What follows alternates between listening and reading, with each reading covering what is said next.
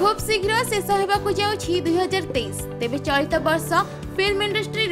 অনেক তারকা নিজের জবরদস্ত অভিনয়ের নিজের এক স্বতন্ত্র প্রাধান্য বিস্তার করেছেন কিন্তু বিগত বর্ষ দেওয়াল পরিবার পাই সবুঠার লকি বর্ষ বলে প্রমাণিত হয়েছে কারণ চলিত বর্ষ ধর্মেন্দ্রঙ্ ঠারু সানি দেওয়াল এবং ববি দেওয়াল পর্যন্ত ସମସ୍ତେ ଅନେକ ସମୟ ପରେ ବଡ଼ ପରଦାରେ ଏକ ଭଲ କମ୍ବ୍ୟାକ୍ କରିଛନ୍ତି बॉलीवुड अभिनेता धर्मेंद्र करण जोहर फिल्म रकी और रानी की प्रेम कहानी जरिया पुणी थे रूपेली पर्दार कम बैक करते चलचित्र धर्मेन्द्र भूमिका को मध्य लोक मैंने बेस पसंद करते विशेषकर सपना आजमी धर्मेन्द्र रोमांस हेडलैन सृष्टि तेज फिल्म टी बक्स अफिस सफल टाउन रो प्रिय सुपरस्टार सनी देओल গদর 2 ফিল্ম સહિત বড় বড় দাড়ি পূণিধারে জবরদস্ত এন্ট্রি করিছিল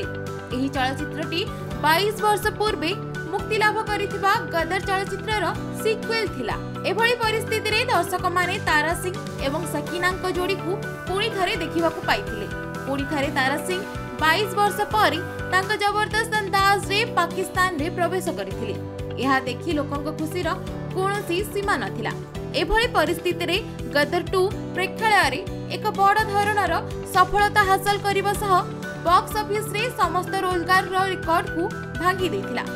ଫଳସ୍ୱରୂପ ସନ୍ନି ଦେଓଲ ପୁଣି ଥରେ ତାଙ୍କ ଷ୍ଟାର୍ଟଅପ୍ ଫେରି ପାଇଥିଲେ ଏହା ପରେ ସନ୍ନି ଦେଓଲ ତାଙ୍କ ଫିସ୍କୁ ମଧ୍ୟ ବଢ଼ାଇ ଦେଇଥିଲେ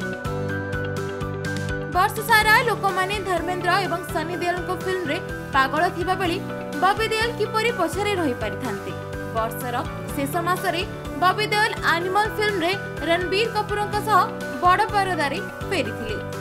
ଅବଶ୍ୟ ବବି ଦେଓଲ ଏହି ଚଳଚ୍ଚିତ୍ରରେ